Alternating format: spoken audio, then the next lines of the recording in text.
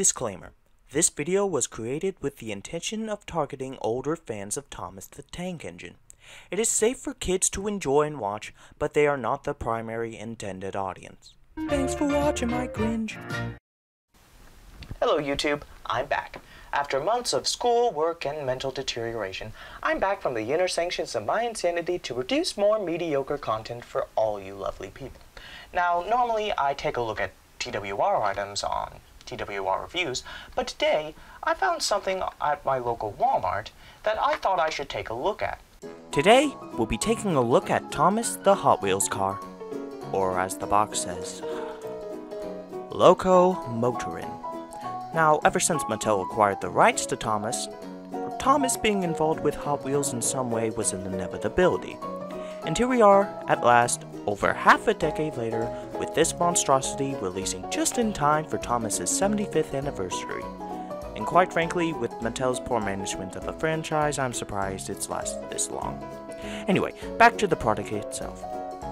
It features your standard Hot Wheels packaging with a clear view of the vehicle, a cool looking promo, and a corny description in the back, but for whatever reason the 75th anniversary logo is missing on the box I picked up. Opening the box, we can now take a more in-depth look at Thomas himself. Needless to say, this doesn't resemble Thomas whatsoever. This is a disappointment by Hot Wheels standards. They've been able to produce vehicles on par with their counterparts on screen, and I've seen more accurate Hot Wheels trains, so... so why drop the ball with Thomas? They could have easily created a more accurate Thomas mold, slap it on a two-wheel chassis, and call it a day. So why go through the trouble to create a new mold for Thomas that doesn't even resemble him? Questionable design aside, I have to give credit where credit's due. Despite the lack of paint detailing, what little there is is nicely applied. Or at least, so I thought until I looked at the face. Mattel, if you want to assure your consumers that you have good quality control, this isn't doing you any favors. The face is placed way too low on my model when compared to others, making the forehead way too big and the mouth too small.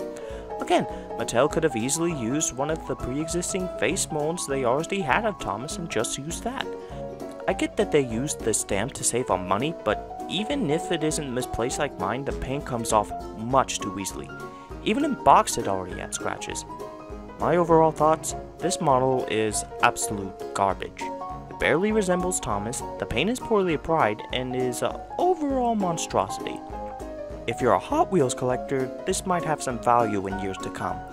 But to anyone looking for an accurate die-cast model on Thomas, I don't recommend this. So if you ever see this at your local Walmart center, or wherever you find this, steer clear. Now if you'll excuse me, I'm going to put this poor thing out of its misery. See you on the flip side everyone, stay frosty, and take care.